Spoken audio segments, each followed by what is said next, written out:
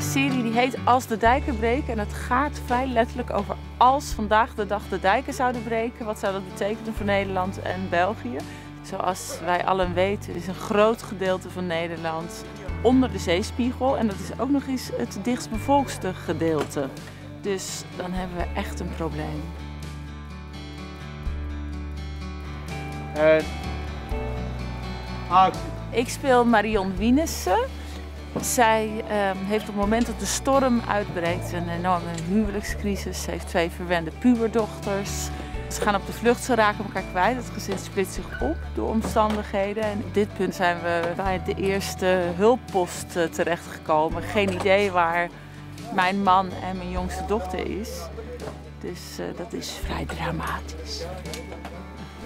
Jongens uit, sfeer alsjeblieft. En actie.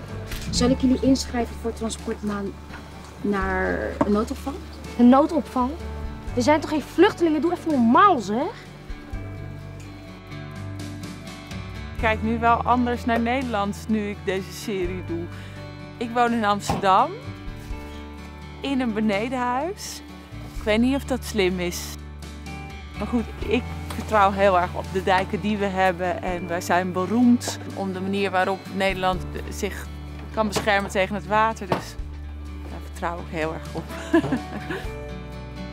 ik vind dat iedereen moet gaan kijken omdat het een super goed geschreven dramaserie is. Er zijn zes grote verhaallijnen die zo helemaal zo door elkaar lopen. En het is super spannend, super goed gemaakt. Er zitten heel veel hele coole acteurs in, dus ik zou sowieso kijken.